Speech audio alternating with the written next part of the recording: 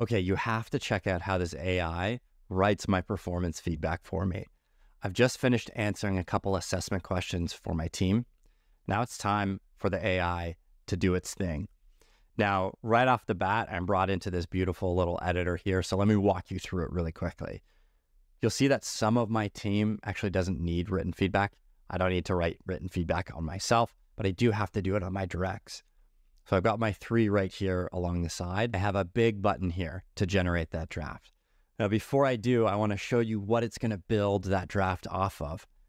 I have all of my notes right here from all of the various different one on one meetings I would have had with Graham, all the goals that would have been assigned to him and his progress along the way, and the assessment values that other people, himself, and I have scored for Graham. I can see any of the notes they would have written for me. I can see the scores, what those would have broken down into across the board. But beyond just taking that data and writing a report out of it, we actually will show you the intermediary steps sort of like math class where you want to show your work all the way to the answer. I can generate insights based on just the assessments, goals, or notes in and of itself. And you can see here the discrepancies between maybe my scores or Graham scores or some of the difference of, of opinion between peers. All right.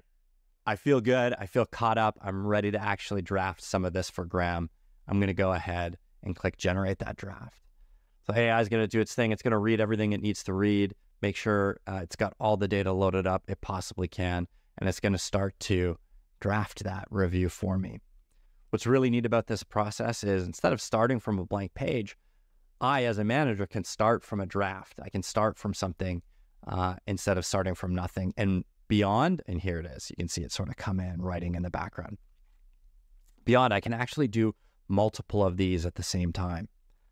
So I can do all seven of my direct reports in one go. I can start the AI doing its thing. I can read all the stuff, get caught up on what the AI is going to be drafting. And when it's done, it will look something like this.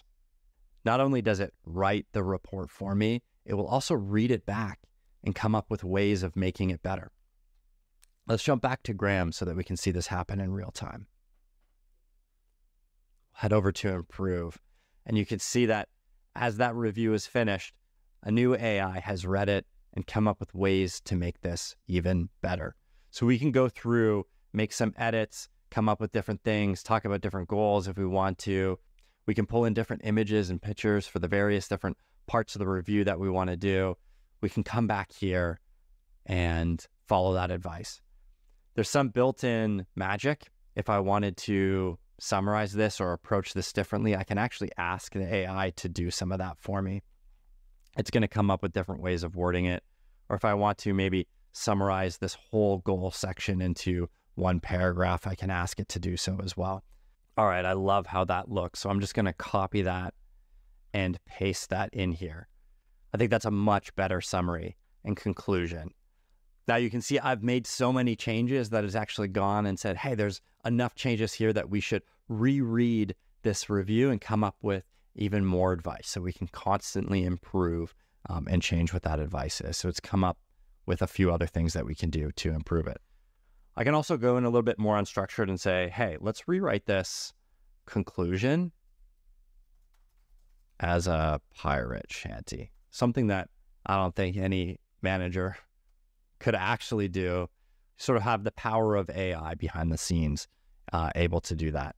So maybe Graham's into pirates maybe this is the way to conclude feedback for him, we can go ahead and do that.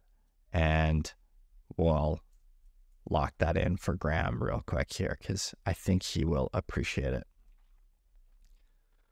So there you have it a fully written, customized review based on notes from our one on one meetings, goals that we have assigned, assessment data that we just filled out from himself, myself, and his peers and while we just did all that work, Lucas's review has finished as well. Now it's time for me to submit. Pretty easy, pretty seamless, pretty painful, painless, I should say, um, and something that I'm pretty excited to get in your hands as well.